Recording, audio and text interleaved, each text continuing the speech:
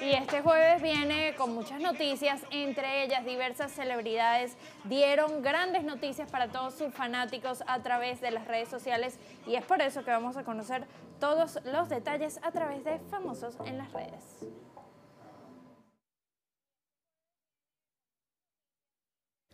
Comenzamos con la intérprete de Mañana será bonito, pues la colombiana llegó a su país natal para reinaugurar la escuela donde cursó la educación primaria.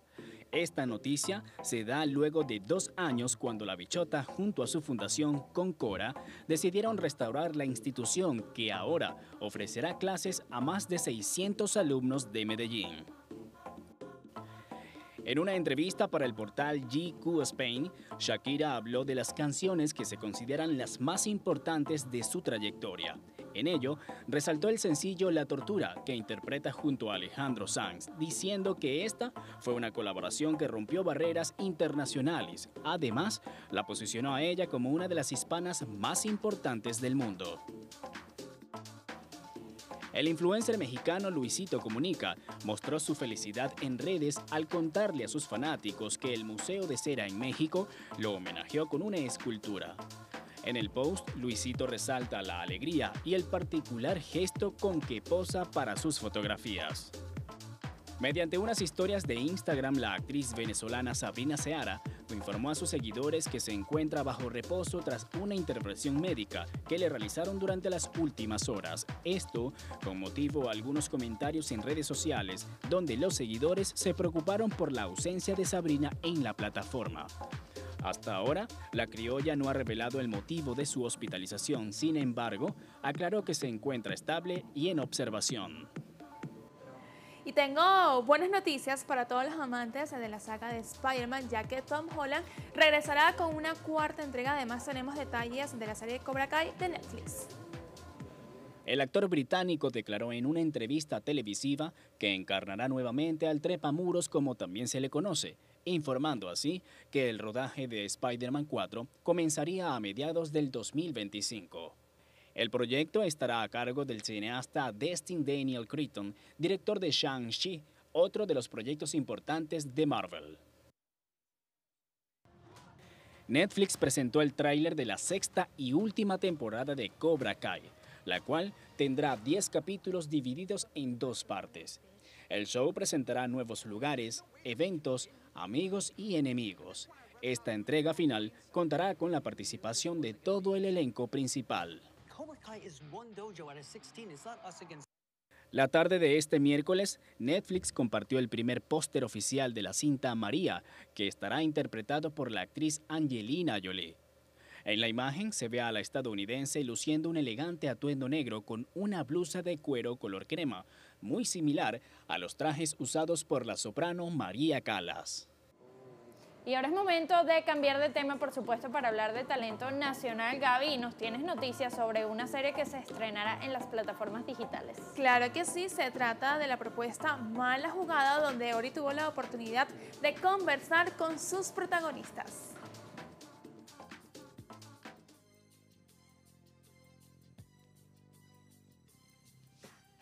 Mala jugada, la serie llega a la pantalla de todos los venezolanos y es por eso que hoy nos acompañan Naomi y Michael que nos van a contar todos los detalles sobre esta producción.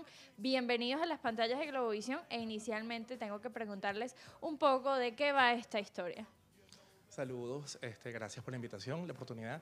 Eh, bueno, Mala Jugada es una serie muy venezolana este, donde sucede eh, eventos de chicos de barriada, eh, delincuencia, romance, amor, superación.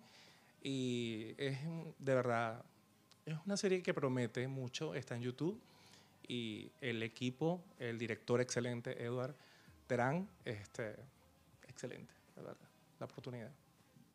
Ocho capítulos que cuentan, por supuesto, la historia de tu personaje. Precisamente quiero que me cuentes un poquito eh, cuáles son las emociones y cómo es el contexto que rodea a todo tu personaje. Bueno, Sara es una joven que crece en una familia muy humilde este, y ella siempre quiere como más. A pesar de lo poco que le da su madre, ella siempre quiere un poco más, quiere ayudarla. A partir de que su padre falleció, todo en su casa cambió. Ya nada es igual. Este, los pocos lujos que se podía dar antes ya no lo puede hacer porque su mamá es, el sostén de hogar. Entonces no le alcanza el dinero. Su hermano Jason, este, él es un chico que em- empieza por malos pasos, a juntarse con personas que no debe y tiene un final muy triste él en esta primera temporada. Y es cuando Sara empieza como a salir más a la calle. Y ahora adicionalmente, y tomando en cuenta por supuesto todo este contexto de la serie, quisiera que ustedes me transmitieran qué mensaje creen que da esta serie. El mensaje que da principalmente es no estar en, no caer en una mala jugada eh, referente al título. Porque independientemente puedes estudiar, puedes salir adelante, puedes trabajar sin la necesidad de caer en malos pasos, en vicios. Y es el mensaje que principalmente quiere transmitir la, la serie.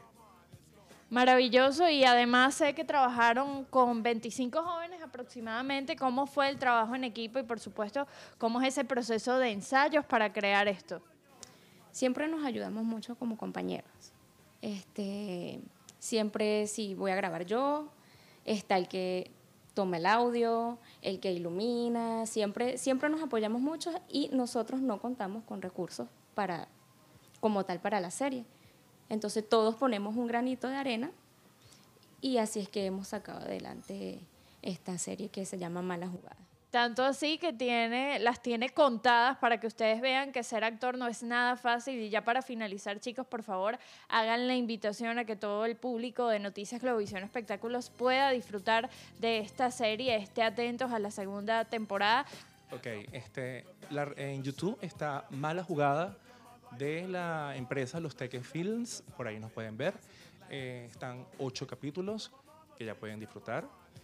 Y este, en mis redes sociales, Michael Piso Prato. Listo, ya está hecha la invitación para disfrutar la primera temporada de esta serie. No se la pueden perder. Y si quieren disfrutar de más contenido como este, sigan atentos a las pantallas de Globovisión. Y ahora cambiamos de tema, Gaby, para hablar de música, porque Lady Gaga anunció un adelanto de lo que será su próximo tema.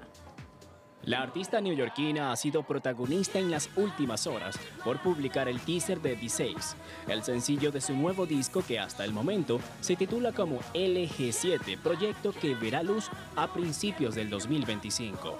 Por otro lado, un fragmento del videoclip fue posteado en la cuenta de Instagram de Gaga, donde al final del mismo se da a conocer la fecha del lanzamiento del tema, prevista para este viernes 25 de octubre. Ante esto, la emoción de los fanáticos no se hizo esperar entre los comentarios, demostrando así una reacción positiva pese a la ola de críticas negativas que la cantante recibió luego del estreno de El Joker 2.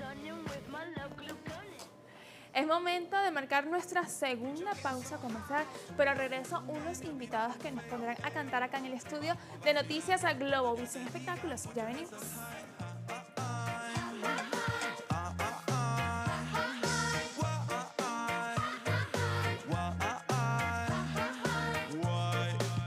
Yo, yo, sin prisa, con calma, sin yo, sin prejuicios, con la misma esencia.